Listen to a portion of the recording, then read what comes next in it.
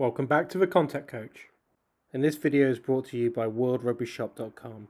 So England, and any team for that matter, are at their best when they've got their big ball carriers like Vunipola and Sinckler carrying hard and working hard on the floor for quick ball, and also a shape that allows multiple options so they can take the space and make line breaks and convert that into points. So let's look at a few common trends of how England are really close to firing. So teams often show how they're going to play in the first 10 minutes. Everyone's fresh, all the training and practice is in place, so you start to get a feel of the shape, and this can be seen over a few weeks as well. And the first one we're going to look at is a pod off nine, three forwards, playmaker out the back.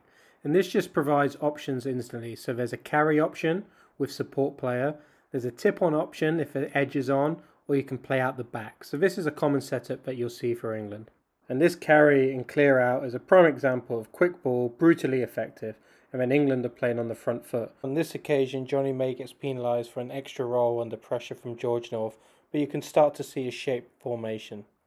And I like this clip because it's still early in the game and it just shows you what England are trying to do. I want to draw your attention to the two forwards in the midfield and the playmaker out the back. So that's just a, a second layer of attack which is going to be really important as we go through this video. But also, I just want to take it back a week. You're going to see a very similar picture against Italy. And they have the same shape. But interestingly, they pull the ball out the back. So they're demonstrating the options that this has. They've got the second layer of attack. They're there to either carry hard or hold a defence. Played out the back once more to Slade. Now England are in a really strong attacking position. Good work by May to get a bit of footwork, great contact skills to present the ball. Now here's the shape as well. You can see the three, playmaker out the back, and this time Youngs goes straight to the playmaker. And now England can hit that midfield pod on a hard carry. Now this yields three points, but I really want you to focus on that shape because we're going to see it against Wales in key moments of the games. So right on half time, 17-11, really tight. You can see the shape here. Sinckler pulls the ball back to Ford, but the setup is just slightly off. There's no passing channel to Slade. And why, why is that important? It's important because when we play through, you're going to see a very, very big space develop in the midfield.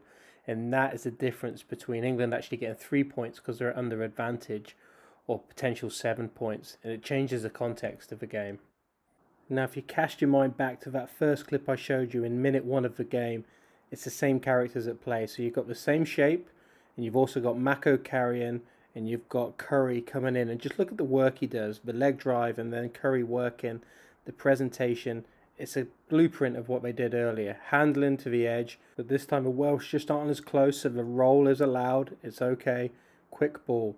Now look at the shape. You've got the three playmaker at the back. The pass goes straight to Ford it's a carbon copy of what we saw against Italy. It's like a mirror image. And as we saw against Italy, they hit that midfield group, big carry. Now hindsight's a wonderful thing. When we're sitting here, Ben Youngs probably would have went the same way. A little bit isolated, Curry in from the side, and a massive opportunity lost. But that's look how the shape works and when England got it right, how devastating their attack can be.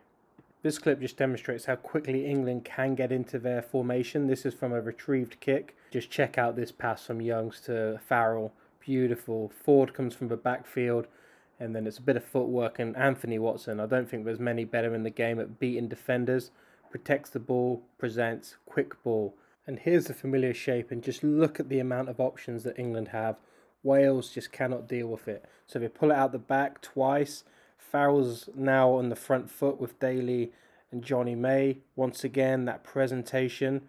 It's the same shape, but this time Youngs hits the forward group and picks out Maro, who's running hard and straight, denser defence, great contact skills. The ball's available. Ben Young sees a small gap, gets through for a seriously good try.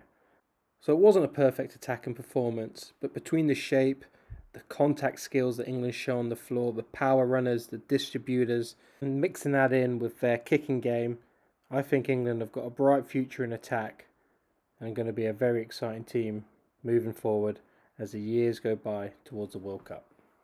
Thanks for watching the Contact Coach.